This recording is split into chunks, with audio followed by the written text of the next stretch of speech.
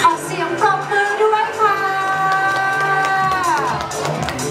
ชิวชิวชิวชิวชิวสังเกตว่ารุ่นพี่ดูยังไงนะคะ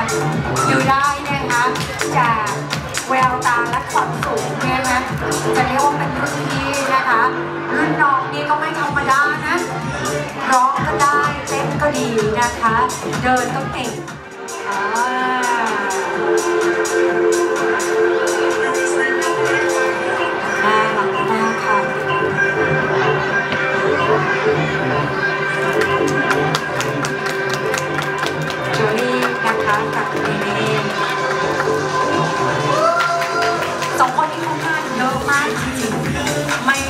แถวกว่าใครเลย เดินไปชั้นโชว์จนแบบว่ากลายเป็นว่าเป็นแบบหนึ่งส